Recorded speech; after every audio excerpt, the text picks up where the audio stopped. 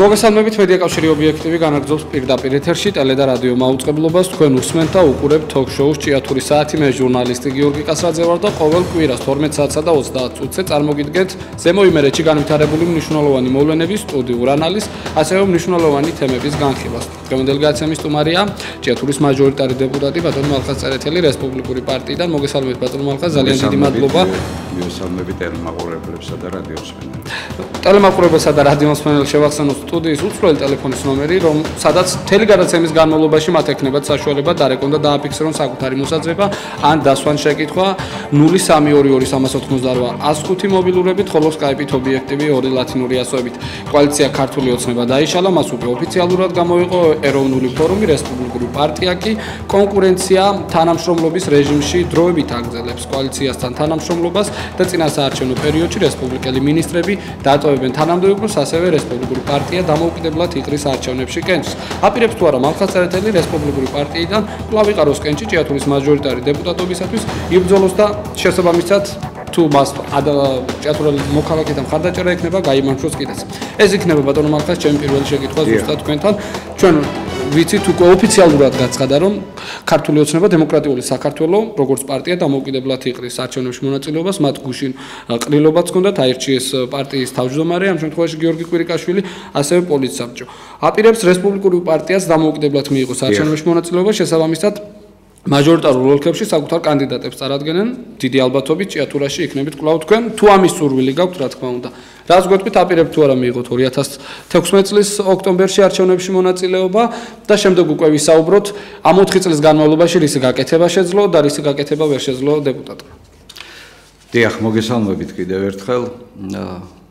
რა თქმა უნდა ვაპირებ. მე მგონი პარტია ჩემს კანდიდატურას დააყენებს ჭიათურის საარჩევნო ოლქში და მე მივიღებ მონაწილეობას და ვაპირებ იმიტომაც რომ შევძელი გარკვეული საქმეების და სასიკეთო საქმეების გაკეთება ჩართული ვარ უამრავი საკითხის და მოგვარებაში, რომელიც პრობლემატურია ჭიათურის მუნიციპალიტეტისათვის. უამრავი შეხვედრები მაქვს ამასთან დაკავშირებით გამართული და უამრავ თავრობასთან ჭიდრო კონტაქტი მაქვს და ამ კონტაქტებით და ამ ჩემი სამომავლო გეგმებით, გაკეთებული საქმეებით მე შემიძლია მოვიდე კლავ და კანდიდატად და შემდეგ თუ ეს ჭიათურის მოსახლეობის გადაწყვეტილება იქნება ამ გავაგზელო მაჟორიტარულად მაჟორიტარულად ბატონო მალხას მე მინდა თქვენ ტელემაყურებელს ახლა კარგად აუხსნათ დაბნეულობა გამოიწვია ამ ფაქტმა კონკურენცია თანამშრომლობის რეჟიმი რას გულისხმობს რას მოიცავს როგორ შეიძლება იყოს თან კონკურენციის ასევე თანამშრომლობის რეჟიმში. აი ეს აგვიხსენით კარგად დასასრულებლად პირველი რომ ავიღოთ თანამშრომლობის რეჟიმზე ვიტყვი რომ ჩვენ ვართ წარმომადგენლები პარლამენტს ავიღებ რომ უმრავლესობა შეიძლება შეექმნას პრობლემები თუ 10 რესპუბლიკელი დატოვებს უმრავლესობას არის უნიშნელოვანესი საკითხები, მისაღები და გასაკეთებელი, რომლებიც ჭირდება ქვეყანას, ჭირდება ჩვენს მოსახლეობას და ამ დროს გავერიდოთ ჩვენი პარტიული ინტერესებიდან გამომდინარე ან სხვა რაღაც ინტერესებიდან გამომდინარე, ჩვენ არ ვთვლით ამათ ამას სწორად. ამიტომ ვრჩევით უმრავლესობაში, რათა გადაწყვეტილებებს არ მიიღებას არ შეექმნას რაიმე საფრთხე. მოგეხსენებათ, რომ ჩვენი მთავრობაც არის ორპარტიული მთავრობა, პრაქტიკულად არის სამი მინისტრია მათ შორის რესპუბლიკელების ჩვენს მთავრობაში და ამ ეს ministrები იმყოფებიან ქვეყნისათვის უნიშნელოვანეს თანამდებობაზე. იქაც საკმაოდ მნიშვნელოვანი პრობლემები არის ბოლომდე მისაყვანი. და გუნდმა და რესპუბლიკურმა პარტიამ გადაწყვიტა რომ იყვნენ მანამ ეს ხალხი იქ სანამ უშუალოდ პროცესი დაიწყება საარჩევნო და სანამ ეს საკითხები არ იქნება ბოლომდე მიყვანილი. ანდა ეს გადაწყვეტილება შეიძლება მიიღოს უშუალოდ პრემიერ-მინისტრმა რომ აღარ ჩათვალოს მათი საქმიანობა საჭიროთ მთავრობაში და ეს მინისტრები. დიახ, ამაზე უკვე საუბარი იყო ამბობე რომ გიორგი კონკურენცია თავისთავად იქნება. აი კონკურენცია რასთან დაკავშირებით? კონკურენცია იმიტომ რომ გაცხადებული გვაქვს ჩვენ დამოუკიდებლად ვიყრით კენჭს და თავისთავად გარჩევნებში დამოუკიდებლად მიყვანა. არა მარტო ქართულ ოცნებასთან ჩვენ კონკურენციის რეჟიმში ვიქნებით ყველა იმ პარტიასთან იმ ჯგუფთან ვინც მონაწილეობას მიიღებს არჩევნებში. ჯანსა კონკურენციაში ბატონო მალხაზ არჩევნები არჩევნების უმეტესობაში რომელიც საქართველოს ჩატარებულა რესპუბლიკური პარტია დამოუკიდებლად ისუიათად თუ იხილა საზოგადოებამ ჩვენ გვახსოვს მაგალითად როდესაც ედუარდ შევარნაძის წინააღმდეგ შეიკრა მაშინ მთელი პოლიტიკური ბირთვი მათ შორის ნაციონალურ მოძრაობასთან რესპუბლიკურმა პარტიამ მათ საკუთარი როლი შეასრულა იმ რეჟიმის დამარცხებაში. თუმცა შემდეგ ნახეთ, რომ მალევე გამოიყვნენ ნაციონალურ მოძრაობაში, შემდეგ უკვე ქართულ ოცნებასთან ერთად ვიხილეთ უმრავლესობაში.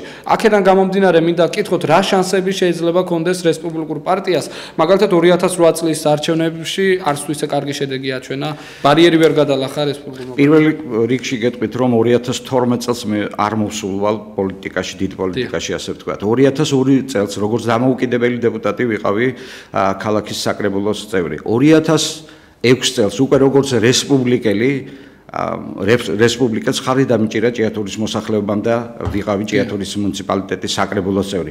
2010 წელს ისევ როგორც რესპუბლიკას ხარი დამჭირა ჭიათურის მოსახლეობამ და და კლავ საკრებულოს წევრი ვიყავი და 2012 წელი თავისთავად კოალიციის შემადგენლობაში ყველა მიცოდა რომ მე რესპუბლიკელი გახლავარ დამჭირა ხარი. რესპუბლიკურ პარტიას საერთოდ სპექტრი ამომრჩეველთა სპექტრის პროცენტულად დიდი არ არის.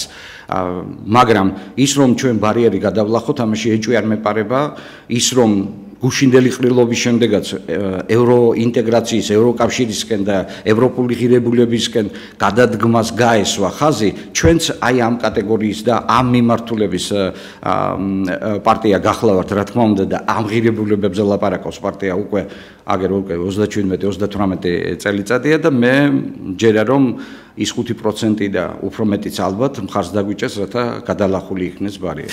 ბატონო მალხაზ, მაინც მე მინდა კონკურენცია თანამშრომლობის რეჟიმს ამ შემთხვევაში ჭიათურის ჭრილში დაუბრუნდეთ. კი ბატონო. ქართულმა ოცნებამ და რესპუბლიკურმა პარტიამ სულ რამდენიმე თვია, დაახლოებით 2 თვე არც არის, ეს კონკურენცია თანამშრომლობის რეჟიმი აირჩია, მაგრამ მე ზუსტად ვიცი ჭიათურაში დაახლოებით 3 წელია ასე არის კონკურენცია თანამშრომლობის რეჟიმი ადგილობრივ ხელისუფლებასთან. ხშირ და მნიშვნელოვან ხშირად მნიშვნელოვან საკითხებზე ვერ თახდება გამგეობა და დეპუტატის ბიურო ამ შემთხვევაში თქვენს მართლწერეთელი საკრებულოში საკმაოდ განსხვავებული პოზიციები აქვს რესპუბლიკელებს და თუნდაც დანარჩენ საკრებულოს ღიად ვიტყვი ამ შემთხვევაში ნაციონალური მოძრაობაც კი მაგალითად ფიქრობდა რომ ქალაქში მძიმეწონიან მანქანებს უნდა ევლოთ და მხოლოდ ქართული ოცნების ერთი დეპუტატი თუ ზუსტად მახსოვს მალხაზ გოგატიშვილი და დანარჩენი რესპუბლიკური პარტია აპროტესტებდა ამ ყველაფერს.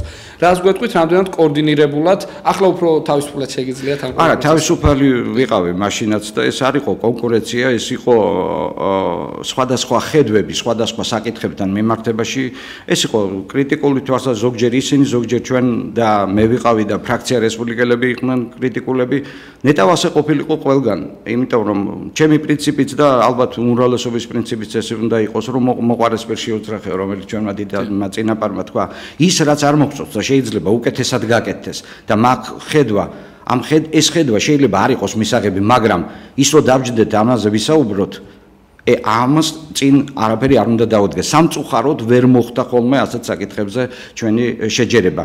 რამაც ამ პრობლემე იმ პრობლემების გადაჭრას გლობალურ პრობლემებზე ვლაპარაკობ მუნიციპალიტეტის მასშტაბით შეაფერხა ეს პროცესები, შეაფერხა ეს პროცესები, ამაზე ნამდვილად შემიძლია იხდა. ბატონო მალხაზ ქართული ოცნების წინასაარჩევნო დაპირებები გავიხსენოთ მათ შორის რომელსაც თქვენ ციძლეოდით ჭიათურაში რამდენიმე ეს დაპირება სხვა მუნიციპალიტეტების არ ვიცი, მაგრამ ჩვენთან შესრულდა, მაგრამ ძირეულ საკითხებს მაინც სამწუხაროდ ვერაფერი ეშველა. მოდით, ჯერ ვისაუბროთ რა გაკეთდა თქვენი დეპუტატობის პერიოდში უშუალოდ თქვენი ჩართულობით და შემდეგ რა ვერ გაკეთდა მეც თქვენთან ერთად გავყვი ამ თემებს და რატომ რის გამო.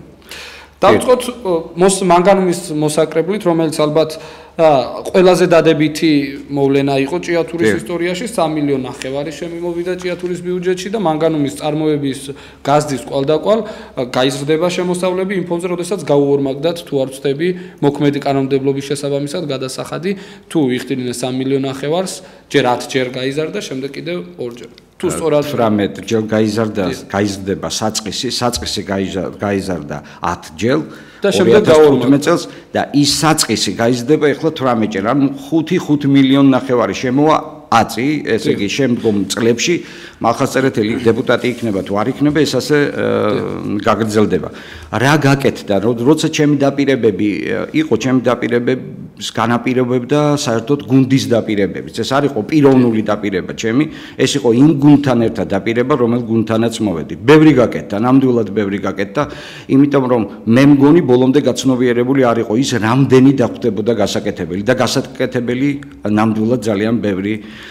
იყო და არის კვლავ. ჩემი საქმიანობა მე ალბათ მომცეთ ბატონო გიორგი იმის უფლებას რაღაც 5-6 წუთი ჩავეტიო. რა ჩემი საქმიანობა, ძირითადი საქმიანობა პარლამენტარის ეს არის პარლამენტში კომიტეტებში მუშაობა. პარლამენტი მოგეხსენებათ ის ადგილია, რომელიც ქვეყნის პოლიტიკას განსაზღვრავს. მე გახლავარ ჯანდაცვის კომიტეტისა და გარემოსდაცვის კომიტეტის წევრები, წევრი და ზუსტად ეს კომიტეტები განსაზღვრავენ ჯანდაცვაში და გარემოსდაცვის კუთხით ქვეყნის პოლიტიკას. რა განხორციელდა ამას არ შევეხები და რამდენი კარგი რეფორმა გატარდა, თუნდაც ორივე თვალსაზრისით, თუნდაც ჯანდაცვის მხრივ არ ყოფილა არც ერთი აქტი თუ საკანონმდებლო წინადადება, რომ მასში მე აქტიური მონაწილეობა არ მიმეღოს. მაგრამ დაუბრუნდეთ, რადგან ვარ მაჟორიტარი დეპუტატი და რა გაკეთდა და თქვენც ბრძანეთ ბუნებრივი რესურსების მოსაკრებელი. ორი წელი მარტოდ მარტო არ მიყვარს ჩემ თავზე ლაპარაკი, მაგრამ პრაქტიკულად მარტოდ მარტო და შემიძლია ვთქვა, რომ აქტიური მხარდაჭერის გარეშე გამგეობისა და საკრებულოს აქტიური გარდა ჩემი წევრებისა, იქ ფრაქცია რესპუბლიკელებისა, მე ეს მხარდაჭერა არ მქონია აქტიური მხარდაჭერა, ყველა სურვილი ეს იყო, რომ ეს მომხდარიყო 2 წლის შემდეგ მოხდა ეს და დამატებით მილიონები შემოუდის ბიუჯეტს, ადგილობრივ ბიუჯეტს, რომელიც მხოლოდ და მხოლოდ ადგილობრივი ხელისუფლების განსაკარგავია. რეგრესის პენსიონერები 500-მდე რეგრესის პენსიონერ ოჯახს აღუდგა ეს პენსია, რომელიც 2007 წელს არასამართლიანად მარცხის პენსიას უცხით გაუოქმა წინა ხელისუფლებას. თუმცა სახელმწიფოს არ უნდა გადაეხადა ეს რეგრესის პენსია. გასაგებია, მაგრამ აი ესე მოხდა და უხდე. მარჩენ ცოტა დაგვიანებით ჩემთვის სამწუხაროდ, მაგრამ მაინც მარჩენად დაკარგულებს აღუდგათ ეს პენსია. მე სამონტყოფო საკითხი პრაქტიკულად დიდი ბრძოლის შემდეგ დამამთავრებელ ფაზაშია მიყვანილი არის მყარი გარანტია თავრობიდან ჯანდაცვის სამინისტროდან და მხოლოდ გამგეობისა და ინდუსტრიულ ჯგუფ შორის მოლაპარაკების საგან საგანია ეს როდის დაიწყო. მე კიდევ ერთხელ მოუწოდებ გამგეობას და ადგილობრივ ხელისუფლებას რომ აქტიურად იყვნენ ინდუსტრიულ ჯგუფთან. ჯორჯიან მანგანესაც ჩართული რაცა საბოლოოდ დაესვას ამ საკითხს წერტილი მე შემიძლია თქვა ერთი რამეც. ჩემი ინიციატივით 2013 წელს გარემოსდაცვის ზედამხედველობის სამსახურმა დაიწყო საბადოს კომპლექსური შესწავლა. ეს არ მომხდარა აქამდე და ეს დაიწყო პირველი პირველი ნაბიჯის იყო, რომ ჩემი თხოვნით 2013 წლის ივნისში გარემოსდაცვისა და ბუნებრივი რესურსების კომიტეტი, პარლამენტის კომიტეტს გასვლითი ხმა ჰქონდა ჭიათურაში მასში აქტიურ მონაწილეობას ღებულობდა შესაბამისი სამინისტროს წარმომადგენლები ადგილზე გაიცნენ ყველაფერს შედეგებს მოისმინეს აღნიშნული სიტუაციები და 2013 წლის ივლისში დაიწყო რამდენიმე თვიანი შემოწმება რომელიც დამთავრდა იმ ძიმე საკმაოდ ძიმე დასკვნით, რომელიც დადო ზედამხედველობის სამსახურმა მოგეხსენებათ ქვეყნის მასშტაბით განემოზე მიყენებული ზიანის 88% ჭიათურის მუნიციპალიტეტზე მოდის და ეს თანხობრივად 358 მილიონი ლარია. ეს ახლანდელი ხელისუფლებისთვის ეს დოკუმენტი და მომავალი ხელისუფლებისთვის უნდა გახდეს სამოქმედო დოკუმენტი ჭიათურის მუნიციპალიტეტთან მიმართებაში. ერთი არ ყოფილა საკითხი რაიმე საკითხი რომ მე აქტიურად არ ყოფილიყავი ჩართული მუნიციპალიტეტის პრობლემების გადაჭრაში. უამრავი საჯარო შეხვედრები მქონდა. სხვადასხვა სოციალურ ჯგუფთან თუ უამრავი შეხვედრები მქონდა. 1000 რა ათასობით შემიძლია ვთქვა შუამდგომლობებია მარტო 30000-მდე ლარით არის დაფინანსებული ჩემი შუამდგომლობის შედეგად. ისევ ჯანდაცვის კუთხით ადამიანთა ადამიანები. მაგრამ მე ამავე დროს მინდა შევეხო ერთ საკითხს ფრაქცია რესპუბლიკელების ინიციატივა, რაზედაც მუშაობდნენ ეს ეს ამ საკითხებზე მუშაობ ჩვენ ერთად. რა წინადადებებით შევიდა ფრაქცია რესპუბლიკელები, ეს ნიშნავს, რომ ჩემი წინადადებაც ეს იყო. მოკლედ მინდა რომ ამის შესახებ თქვა. დამამთავრებელ ფაზაშია 2013 წლიდან დაიწყე ქალაქის სტატუსის მინიჭების შესახებ ჭიათურაზე. ეს არის ერთ-ერთი საკითხი, როცა ვამბობთ ჩვენ რომ ღირსება დაუბრუნოთ ქალაქს. ზუსტად ქალაქ ჭიათურას უნდა აღუდგეს ეს სტატუსი. ეს მარტო ღირსების დაბრუნება არ იქნება. ეს ორივე სოფელს თავისი ბიუჯეტი გაუჩნდება და სოფლის და ქალაქის ბიუჯეტი ერთად აღებული რამდენიმე მილიონით გაიждდება. ჭიათურის საკრებულოს ჭიათურის მუნიციპალიტეტის საკრებულოს რესპუბლიკური ფრაქციის წინანდადებით მომზადდა შუამდგომლობა, რომელიც გამგაობამ გააგზავნა მთავრობაში პრინციპული თანხმობა ინფრასტრუქტურისა და რეგიონალური განვითარების სამინისტროსთან პირადი შეხვედრების დროს ამ საკითხთან მიმართებაში კრებებია გასამართი მოსახლეობის და ეს საკითხი დადებითად გადაწყდება. ინიციატივით იყო საკრებულო და ერთად ვიმუშავეთ შიგა და სასოფლო სატრანსპორტო მიმოსვლის გაუმჯობესების თვალსაზრისით და ახალი სატენდერო პირობების შემუშავებისათვის. მასში შედის ფასების გადახედვა, მასში შედის მოსახურების ხარისხი, მასში შედის დრო, როგორ უნდა იმოძრავოს ან ტრანსპორტმა და ასე შემდეგ შემუშავებულია ეს წინადადებები უკვე ფრაქციად რესპუბლიკელების მიერ სატრანსპორტო მიმართულებით. ბატონ მალხაზ, სკაიპით მიკავშირდება ჩვენი მაყურებელი, შემდეგ გავაგრძელოთ საინტერესო თემებია. თითოეულ თემა მეც მინდა ძალიან კარგად გავიაროთ მივაწოდოთ საზოგადოებას დეტალური ინფორმაცია. გისმენთ პირდაპირ ეთერში ხართ. გამარჯობა გიორგი. გამარჯობა. ძალიან დიდი ბოდიში მინდა თქვენს სტუმარს შევეკითხო. ძალიან კარგად ახსენა რომ ჯანდაცვაში რაღაც წვლილი მიუძღვის კი, მაგრამ მარტო ერთი ბავშვი არის, ბავშვი, ზესტაფონში რომ ბავშვი მატარებელში ჩავარდა და ხელები და ფეხები მოჭრეს. იმას რატო არავინ არ ახსენებს? მარტო შორენა ბეგაშვილის შვილია, ღმერთმა კარგად ამყოფოს შორენაშვილი, მაგრამ მარტო შორენაშვილია შვილი, უბრალო ადამიანის შვილი არ შვილობს, მაგათვის, მაგრამ რესპუბლიკურ პარტიას რა უნდა მოთხოვოს ადამიანმა, ვერაფერი, ხო? გასაგებია, მადლობა თქვენ ზარისაც 2388 მობილურებით 03223885 სკაიპით ობიექტივური ლათინური ასოებით. ბატონო მალხას ერთის დავამთავრე. დიახ, აი ამ თემას გავყვეთ. არ ვიცი. არა, მე შორნაბეგაშვილის ქალიშვილზე ამ შემთხვევაში ევას გამოჯამრთელებას უსურვებ, მაგრამ სწორი შეკითხვა დასვა იმ მიმართულებით ამ ქალბატონმა, რომ სამწუხარო დღევანდელი ჯანდაცვის რეფორმა ვერ იძლევა აი ასეთი ტიპის ადამიანებისათვის დახმარებას. ჩვენ ვიცით რომ არის ფონდი შექმნილი რომელიც ეხმარება ონკოლოგიურ დაავადებულ ბავშვებს, მაგრამ მაგალითად ჩვენთან ძალიან ბევრი ადამიანი მოდის თხოვნით რომ მათი პირადი პრობლემები ჯანმრთელობის ბავშვების განსაკუთრებით გავაშუქოთ ეთერში. ამ მიმართულებით თუ მუშაობს ხელისუფლება, ვიცი რომ რაღაცების გაკეთება სურდათ. ხო ამ მიმართულებით გადაიდგა უზარმაზარი ნაბიჯი. როცა ვლაპარაკობ ჩვენოთ თანადა 10000 ლარი ღირს თქვათ, სიტყვაზე ავიღოთ კარდიოქირურგიული ოპერაცია. თქვათ. და 7000 ან 8000 გიფინანსებს სახელმწიფო. შემდეგ ეგ ადგილობრივი თქვათ გამგეობა დარჩენილი თანხის 30%-ს აფინანსებს. და ეს არ არ იყო საერთოდ არც ერთი თეთრი. და ამ დროს უნდა ვთქვათ, რომ ჩვენ ბოლო, რა თქმა უნდა, ეს არის ცენტრალური ბიუჯეტიდან გამომდინარე, განუხრელად იზრდება ჯანმრთელობაში დახარჯული ფული ფულის წილი. იზრდება თლიანი შიდა პროდუქტის თუ იყო 2015 წელს ჯანდაცვაზე ვლაპარაკობ მე სამინისტროზე ჯანდაცვისა და სოციალურ საკითხთა და პენსიებზე არ ვლაპარაკობ რომელიც იქ შედის. ჯანდაცვის სეგმენტზე ვლაპარაკობ. თუ შიდა პროდუქტის 2% იხარჯებოდა, ეხლა 2016 წელს 2.5-ი. კარგია თუ 5 აღმოსავლეთ ქვეყნებში 8-10 იხარჯება. არა, მე ბატონო ახლა ჯანდაცვის რეფორმას არ ვაკრიტიკებ, პირიქით, ჩემი ოჯახის რამდენიმე წევრმა ისაა. მადლობა ამისათვის სახელმწიფოს, მაგრამ სრულფასოვანი რამდენად არის ხო ეს? სრულფასოვანი არის, რა თქმა უნდა არის დეპუტატის ბიუროში აღარ შემოდის განცხადებები. აგერ მე ვარ მაგალითი და ამოიღეთ ეს განცხადებები. აღარ შემოდის ეს განცხადებები, რომ დაგვაფინანსეთ ჯანდაცვასთან დაკავშირებით. იმდენად წარმატებულია ეს. პრაქტიკულად 2013 წელი 90% მომართვების იყო ჯანდაცვასთან მიმართ. აღარ შემოდის ეს. ახლა თუ შემოდის განცხადება, იგივე ჯანდაცვის სისტემა მუშაობს ამაზე ჯანდაცვის სამინისტრო სოციალურ დახმარებასთან დაკავშირებით. კავშირებით, რომელიც ხარვეზიანი აღმოჩნდა ეს მეთოდოლოგია, მუშაობს სამინისტრო ამაზე, რომ გაასწოროს და უნდა გაასწორდეს სასწრაფოდ.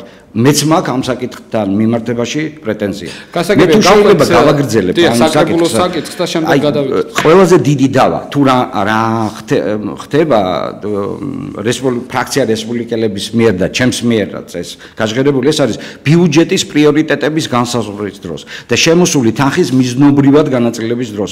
ყველაზე ხმაურიანი სტომები აი ამ დროს არის ხოლმე როცა ხდება თანხების განაწილება. ვერა და ვერ მივახციეთ, ბოდიში გიორგი, ვერა და ვერ მივახციეთ რომ საკრებულომ გამგეობამ მოხდეს რომ ეს თანხ დავსვათ და დავჯდეთ ერთად და გავიაროთ. სად შეიძლება და სად უფრო უპრიანია ამ თანხების ყველა სჭირდება ეს თანხა მაგრამ სად არის პრიორიტეტი ამ თანხების განაწილების? იყო ჩვენი წინადადება ასეთი რომ საბაზო რადგან ეს 3 მილიონი ნახევარი მოდიოდა საბაზო თანხები თითოეული თემისთვის 80 100000 ლარი ჩაგვიდო შემდეგ გაგვენაწილებია თანხები კიდევ მოსული თანხებით სად ჭირდებოდა ყველაზე მეტად, მაგრამ ვერ მოხერხდა ეს და ამაზე გული მწყდება. ამის გამო დაზარალდა იქ თემებში მცხოვრები არამიზნობრივად ხარჯავს არამიზნობრივად არ იხარჯება, არამიზნობრივად არ იხარჯება, ყველგან გასაკეთებელი იყო, მაგრამ სადაც მაგალითად ის თემები რომ არის დარჩენილი ამ თანხების გარეშე, სადაც მანგანუმის მოპოვება მიმდინარეობს, სადაც გაუბედურებულ მდგომარეობაშია მოსახლეობა,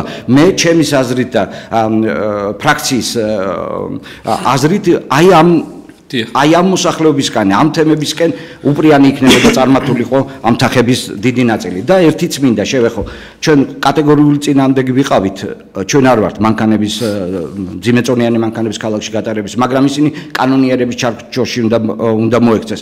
მოგეხსენებათ, რომ ალტერნატიული გზებისათვის ჩვენი ინიციატივით ალტერნატიული გზების მოძიებისათვის შეიქმნა კომისია. ნუ 10 კაციანი კომისია, რომელშიც წარმომადგენლობით იყო როგორც საკრებულო, ისე გამგეობა. დაიდო გამოინახა 7 ალტერნატიული გზა, რომელსაც რაღაც გარკვეული ფინანსები ჭირდებოდა და ამის შემდეგ ქალაქში აღარ გაივლიდნენ ეს მანქანები. ამ დასკვნის საფუძველზე სამართლებრივი აქტი უნდა გამოეცა იგივე გამგეობას ან საკრებულოს.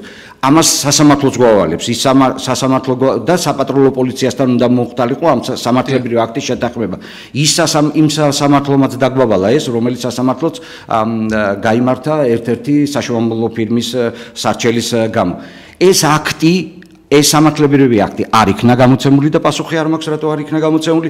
და ამ დასკვნის ერთგული ვინც ხელი მოაწერა ამ კომისიის დასკვნას ორი ფრაქციის წევრი ორი რესპუბლიკელი პაატა გოგოლაძე და მურმან ბარათაშვილი დარჩნენ. და წინა საკრებულომ დააკანონა უკვე დააკანონა ქალაქში ძიმეწონიანი მანქანების გადაადგილება. მიუხედავად ჩვენი დიდი პროტესტისა და მე მარგანეცებმა ერთი წლის წინათ გამოუგზავნეს მანქანა, სარეცხი მანქანა 53000 ლარი ღირსო და ის მანქანა არც ჭიათურელს არ უხილავს ქალაქში რომ წვენდეს და ეს ჩემთვის აი ჩემთვის და მე საკრებულოს წევრებსაც თავმოყარეობის საკითხიც ხო არსებობს რომ ჯართი გამოგვიგზავნეს და ამით ვამაყობთ?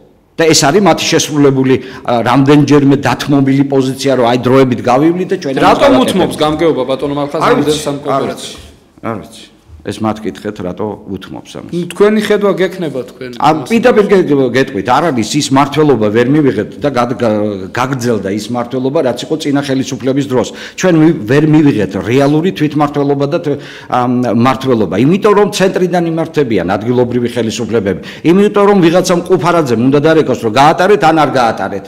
და ძირითადად რეკავერო გაატარეთ. ალბათ ალბათ ასე მგონია. მაგრამ ჩვენ რო ვართ ადგილზე და ჩვენ რო მაგვირჩია ადგილობრივმა მოსახლეობამ ჩვენ იმ ზარზე და იმ დავალებაზე ცოტა მაღლა უნდა დავდგეთ როგორც მორალურად ისე პასუხისგებლობრივი გადაწყვეტილებების მიღებისას და უნდა გავაკეთოთ ის რაც ჩვენ მოსახლეობას ჭირდებათ. თუნდაც არა სულხან მახათაძე დღევანდელ თვითმართველობის კანონს ვერ შეეგუა იმიტომ რომ სულხან მახათაძეს და გამგეობას არ შეუძლია ეს შეცვალა საკრებულო რომ და ხარი დაუჭირა ჩვენს გარდა ყველამ.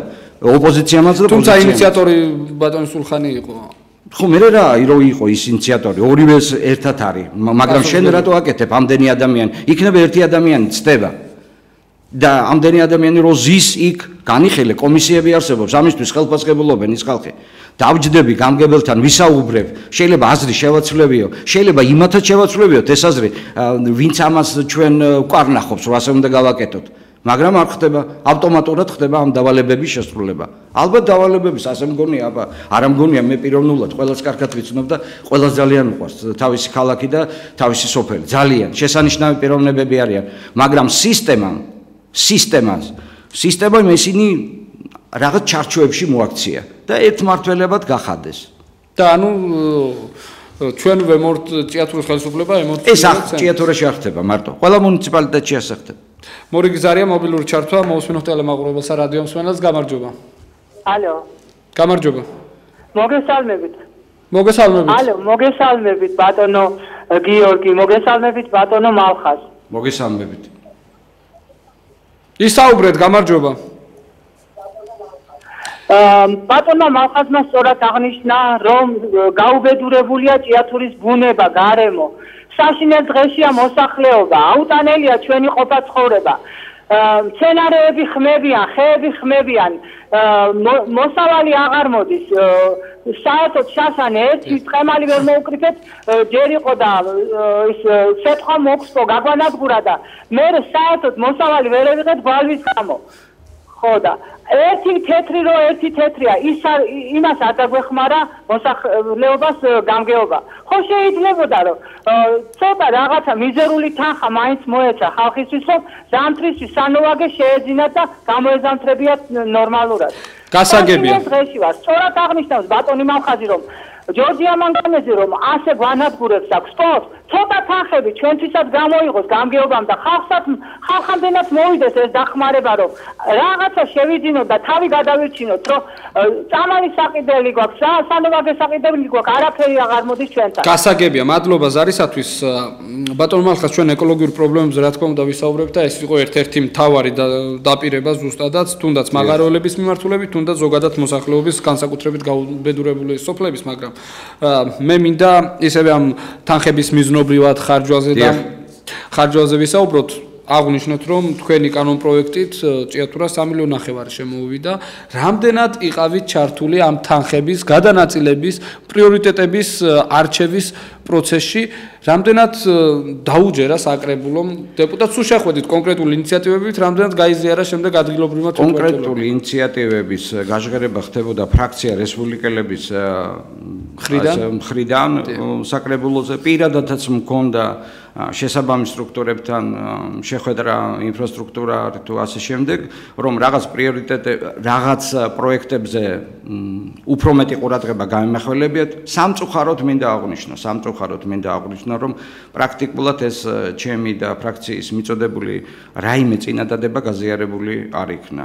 სამწუხარო ისიც არის რომ ასეთი მომენტ 2014 წლის არჩევნების შემდეგ აი ეს პროცესი რომ დეპუტატის რაღაც იგნ იგნორირების პროცესი, საკითხების მიღმა დარჩენის პროცესი თუნდაც საზეიმო დღეებში არ გამოცხადება, თქვა კულტურის ცენტრში ხარ, თეატრში ხარ, აგერ თეატრის დღე აღინიშნა რაღაცა, აქ პარლამენტის წევრზე არ არის ლაპარაკი.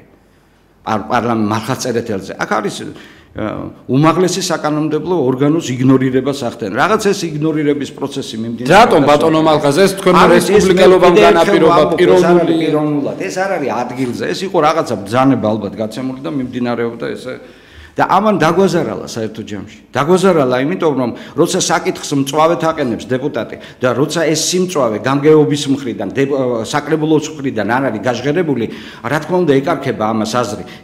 თუნდაც ამის შესანიშნავი მაგალითია 2015 წლის მაისი თუ აპრილის თვე ბატონი ირაკლი ღარიბაშვილი რეგიონალურ თათბეს არტარებს ქუთაისში და ამბობს რომ წყლის არეაბილიტაციო ესე იგი სამშობლოები დამთავრდა ქალაქ ჭიათურაში.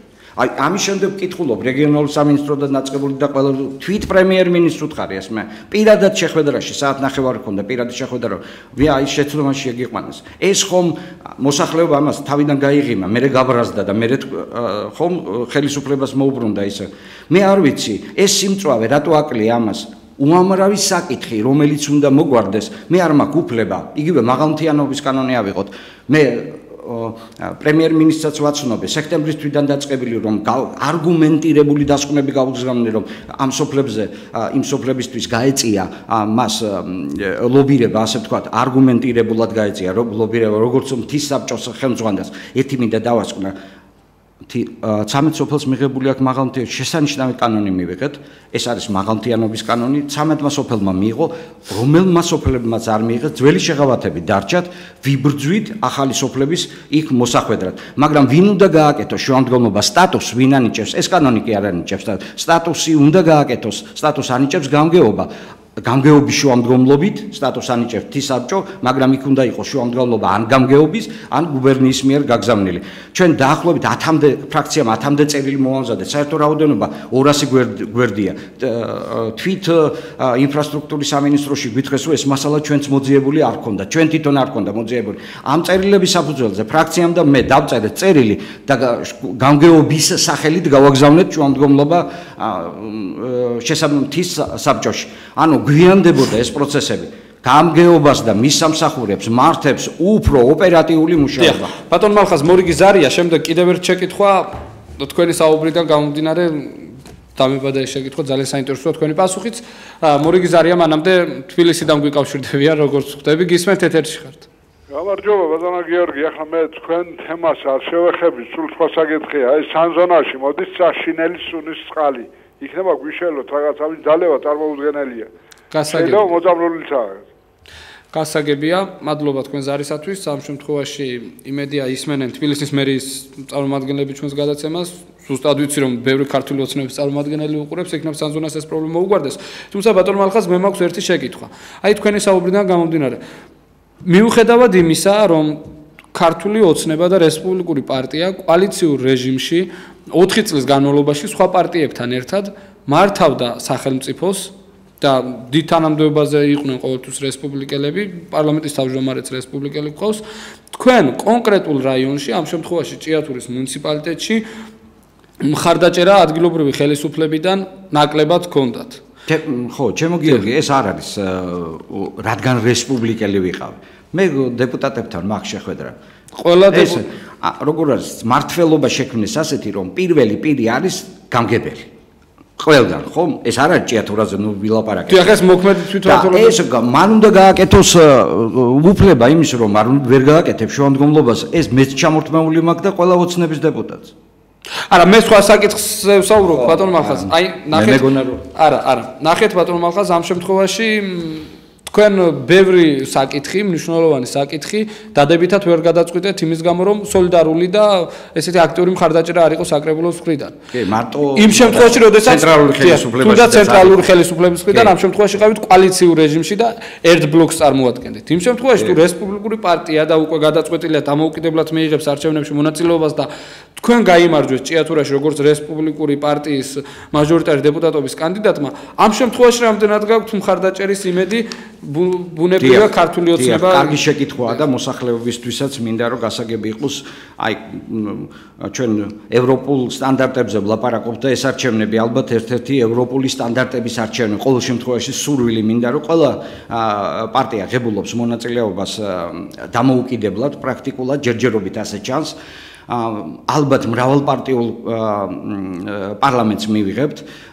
და დარწმუნებული ვარ იმაშიდაც რომ საკონსტიტუციაზე არა ნუ უმრავლესობას კი. უბრალო უმრავლესობით ვერ მოვა ვერც ერთი პარტია. ამიტომ საჭირო გახდება კოალიციის შექმნა უკვე თვითონ შიგნი პარლამენტში და ჩვენც რა თქმა უნდა იმ გაგრძელებული საქმეებით იქ ვინც მოხდება და ქართული ოცნება ნამდვილად იქნება საკმაოდ წარმომადგენლობითი ამ პარტი ამ ახალი მოწვევის პარლამენტში და კლავ შეიქმნება. უკვე პარლამენტის გარეთ კი არა.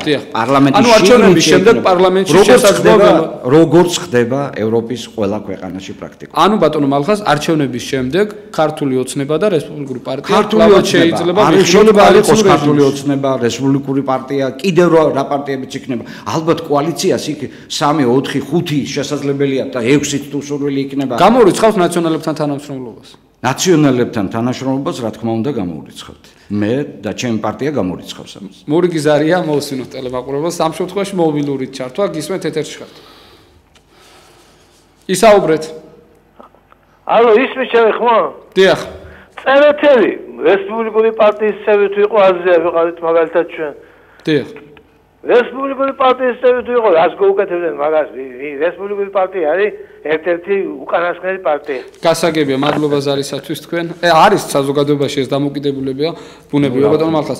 ვისაუბროთ, ყველაზე მთავარი დაპირება იყო მაღაროელებმა ჩემთან პირად საუბრებშიც ეთერშიც და ალბათ თქვენთანაც ძალიან ხშირად აღნიშნეს, როდესაც ბატონი ბიძინა ივანიშვილი თქვენთან ერთად ჭიათურის მოსახლეობას ხვდებოდა 2012 წლის 20 სექტემბერს, მან თითი დაუქნია ჯორჯია მანგანიზის ადმინისტრაციას და აღფრთოვანდა ყველა მაღაროელი, ვინაიდან ამ 9 წლის განმავლობაში იმდენად წნეხში, იმდენად რთულ მდგომარეობაში უწევდათ მუშაობა, ისე შრომობდნენ, რომ სამწუხაროდ ვერც აპროტესტებდნენ ამ არახუმანურ და არაადამიანურ შრომას. იყო მოლოდინი და ძალიან დიდი მოლოდინი, რომ მაღაროელების მდგომარეობა გაუმჯობესდებოდა, ამას პირდებოდა კიდევაც ქართული ოცნება, მათ შორის თქვენც როგორც ამ კოალიციის წარმომადგენელი მოსახლეობას, თუმცა სამწუხაროდ დღეს ხედავთ 3700 თანამშრომელს სახლში. 4 თვით და 20 მაისს მათ წარმოება უნდა დაიწყონ. გარდა ამისა, ძირეულად მოდით შევთანხმდეთ ბატონო მალხას რომ მაღაროებშიც არაფერი შეცვლილა. რას გვეტყვით ამ მიმართულებით თუ იმუშავა დეპუტატმა რა იყო ხელისშემშელი ფაქტორი რომ ეს დაპირება ალბათ ვერ შესრულდება ამ წლის 2016 წლის არჩევნებამდე ვინაიდან ძალიან ცოტა დროა დარჩენილი და მართლა გაუსაძლებს მდგომარეობაში თქვენც ეს ძალიან კარგად იცით და ხშირად საუბრობთ ამ თემებზე უწევთ ცხოვრება და მუშაობა მაღაროებას. მარტო ჭიათურის მუშამოსამსახურეები არ არიან ამ დღეში ყველა სადაც ესეთი სამთო მრეწველობა თუ ძიმე მრეწველობის დარგებია ყველგან ძიმე სიტუაცია შექმნილი. ერთიანი პოლიტიკა ამ ხრივ ვერ ჩამოყალიბდა და ვერ შეიქმნა ქვეყანაში. უამრავი პრობლემა გამოწვევები არა მარტო შიგნით იყო ჩვენ ვიცით საგარეო გამოწვევები კარგი დიდი თანხა და ენერგია და რესურსი დაიხარჯა იმ საგარეო საფრთხეების თავიდან ასაცილებლად რომელიც შეიძლება იმ წუთისათვის ეს არ ჩანდა. ის თუ რა მოხდებოდა თქვა სირია ერაყი აგერ თურქეთი რუსეთი უკრაინა ეს ჩვენთვის არის საგარეო ფაქტორი მაგანა საგარეო ფაქტორი დიდი ენერგია და არ არ განაპირობა ეს. მე ჩვენ საუბრობდით და აგერ შრომის უსაფრთხოების ინსპექცია, რომელიც აღარ არსებობდა, შეიქმნა. შესაბამისი კვალიფიციური კადრი საქართველოსში ვერ მოიძებნა, მათ დაჭirdათ გადამზადება. ჩვენ წინ გადაცემის დაწყების წინ საუბრობდით კიდეც გეორგი და აღნიშნავ, რომ ეხლა შრომის უსაფრთხოების ინსპექციამ უკვე დაიწყო არაგეგმიური შემოწმება, ანუ გეგმიური, როცა შეთანხმებულია დამსაქმებელთან. ბევრი ფაქტი დაიდება და ამ ფაქტებს დაჭirdება დაჭirdება შესაბამისი რეაქცია თუმცა როდესაც მხოლოდ რეკომენდაციული ხასიათი აქვს ამ სამსახურს როგორ შეიძლება ბატონო მალხაზი შესაბამისი მე რეკომენდაცია რო არის ხომ ეს რეკომენდაცია იმისთვის იდება რომ უნდა გაითვალისწინო. იმისთვის არის ეს გარემოს დაცვის ზედამხედველობის დეპარტამენტი ეს უმძიმესი დასკვნა რო და ამას ჩახედ მე თქვი რომ ეს უნდა იყოს სამაგიდო დოკუმენტი როგორც არსებული ხელისუფლების ისე მომავალი ხელისუფლების რომ აქედან უნდა ამოვიდეთ რა ხდება ამ ქალაქში მაგრამ კიდე ერთხელ ვამბობ რომ რაღაც პოლიტიკური ნებაც სჭირდება ამას რომელი ნებაც ცენტრალური ხელისუფლებიდან მე ვერ დავინახე მორიგი ზარია კლავაც მობილური ჩართვა აქტიურობ საზოგადოება. გისმენთ ეთერში ხართ. მოგესალმებით დიდი პატივისცემით ა ძალიან გვაინტერესებს თქვენი აზრი საგარეო საკითხთან დაკავშირებით თეატრის მოქალაქეებს გვაინტერესებს.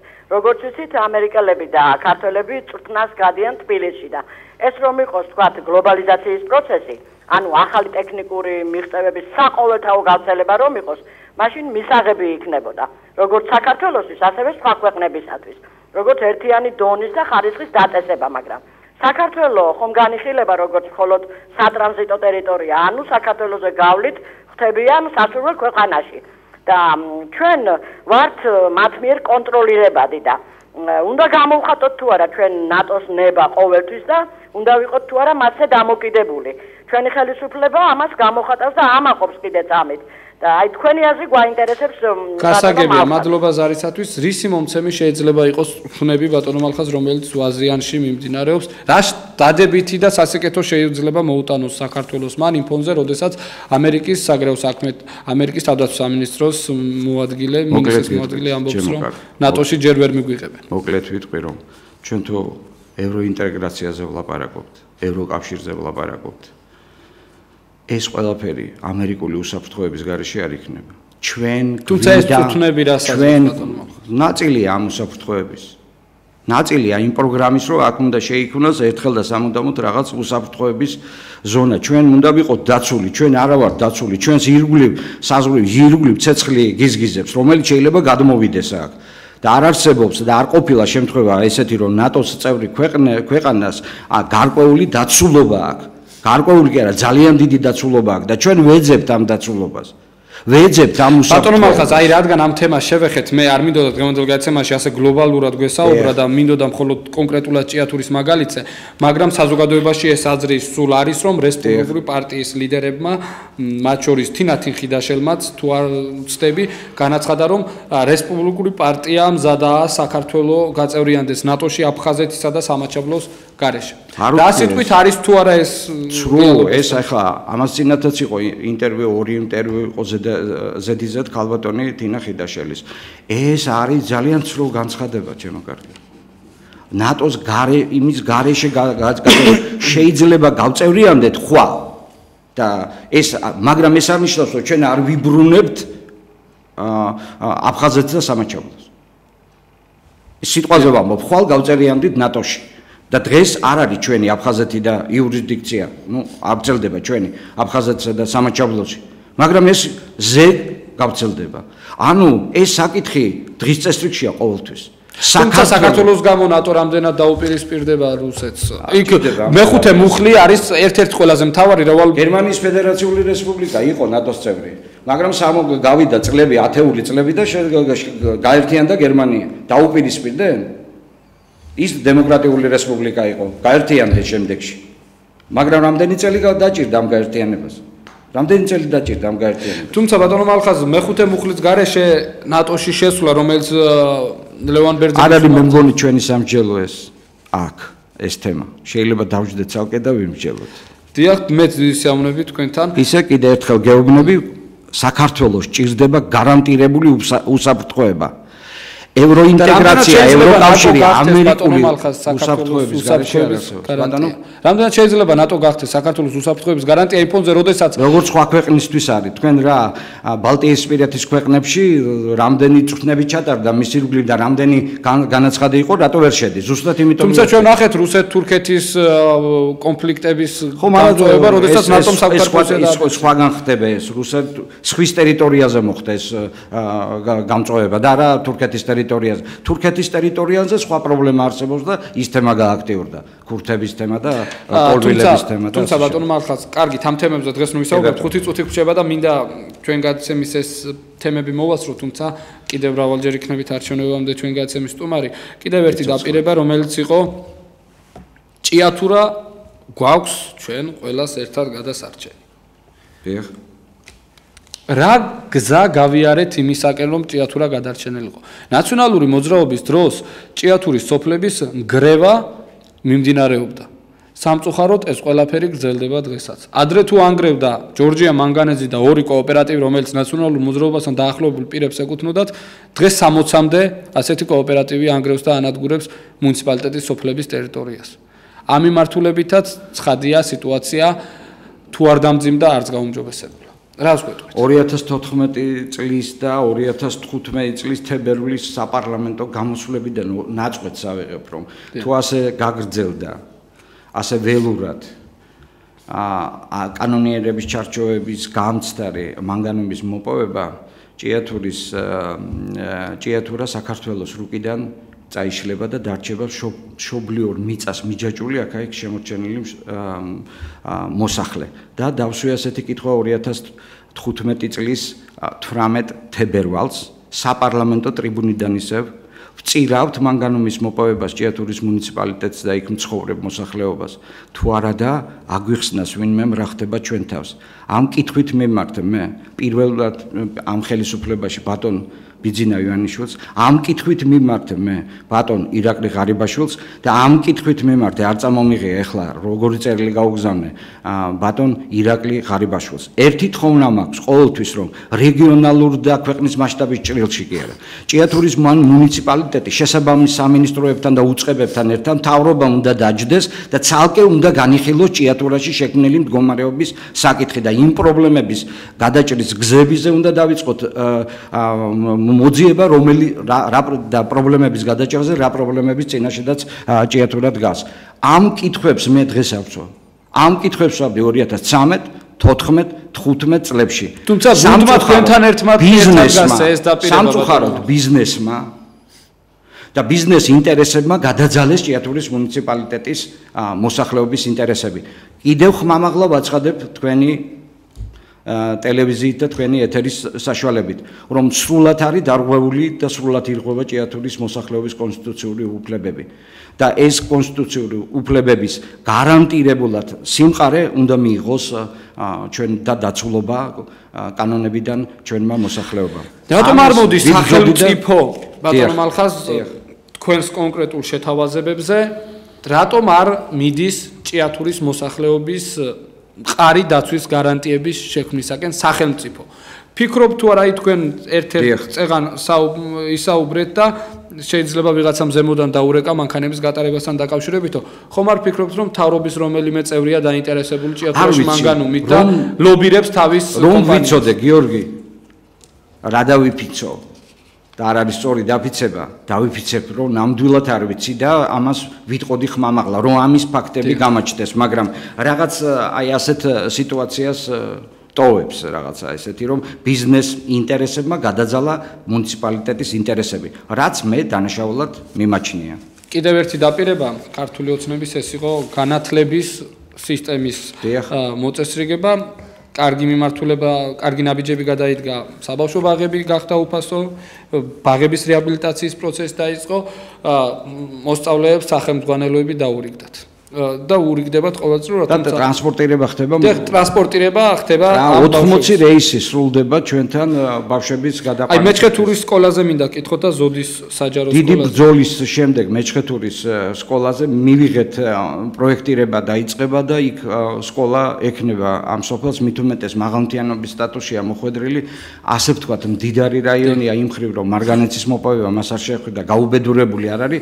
იქ ცხოვრება შეიძლება რაღაცის განვითარება შეიძლება შეიძლება კოოპერაცია კოოპერატივის შექმნა შეიძლება და ასე შემდეგ. ზოდის სკოლა ზოდის სკოლაში არსებული შენობა ნაგებობა რომელიც ბავშვებს არის უკვე ძალიან დიდი პრობლემა ეს ალბათ მუნიციპალიტეტს მიდის ამაზე მუშაობა გამგეობაც ენერგიულად მუშაობს ამ საკითხზე რომ აი ეს შენობა გადმოეცეს გამგეობას და დემონტაჟი მან მოახდინოს. ეხლა სკოლების მიხედვით 53 საჯარო სკოლა 38 გარემონტ და ეხლა დამთავრდა კიდევ სამის ასეთ რემონტი რომელიც 21 38-ში ვერ იყო ძიმე მდგომარეობა გვაქვს რგანის სკოლაში და ბერეთისის საჯარო სკოლაში რგანის სკოლაზე სამხარაულის იყო ჩამოსული და შეამოწმეს რამდენად შეიძლება მისი ესე იგი აღდგენა, გარემონტება შეიძლება დაშალონ და ამ დასკვნის და ახალი ააშენონ მეჩხეთური სკოლა, რომელიც აი ბოდიში ბერეთისის სკოლა ეხლა სატკივარია და წერილიც გავაგზავნეთ, იმიტომ რომ იქ არ დაწყებულა ეს რომენტი,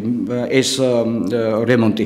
მით უმეტეს ამას წინათ როსტიქია იყო, სახურავი დაუზიანა და მე ვიყავი სკოლაში გასული წლის ნოემბერი იყო თუ დეკემბერი და ნახე რომ რამ მდგომარეობაში ეს სკოლა, თუმცა ვიბძვით რომ ეს სკოლა მოხდეს ამ გარემონტების. ძალიან დიდი მადლობა ბატონო მახას, ჩვენი საეთერო დრო ამოიწურა. ტელემაყურებელს და რადიო მსმენელს შევახსენოთ, ჩვენთან სტუმრად იყო ჭიათურის მაჟორიტარი დეპუტატი ბატონო მახას წერეთელი. წარმატებებს გისურვებთ ბატონო მახას. ის ვადა რომელიც კიდევ დაგჭა დეპუტატობისათვის, გამოგვეყენებინოთ მაქსიმალურად ჭიათურელი მოსახლეობის აკეთილდღოთ. მოკლედ ბძანეთ ვინაიდან დიახ, მე ყველას მე მინდა ვიცხოვრო ისეთ ქვეყანაში, სადაც პრობლემები, რა თქმა უნდა, ნაკლები იქნება, სადაც იქნება შრომის ახალი ადგილებისათვის შრომის ბაზარი, სადაც დაბალი იქნება რისკი რომ ბოროტად გამოიყენოს ადამიანებმა ხელისუფლება, სადაც პროგრესი იქნება და განათლება იქნება. ამას მოყვება შემდეგ კეთილდღეობა. მაგრამ ამას ერთი ადამიანი, ერთი პარტია ან ორი ადამიანი ვერ გააკეთებს. ხელი ხელჩაკედებულად შეიძლება ამის კეთება მოსახლეობასთან ერთად და მათი პრობლემების გაზიარება. ძალიან დიდი მადლობა ბატონო მალხა, ჩვენი საერთო დრო ამოიწურა, თქვენ უსმენთ და უყურებთ ჭიათურის საათს. მე გიორგი კასრაძე ვარ, ნახვამდის.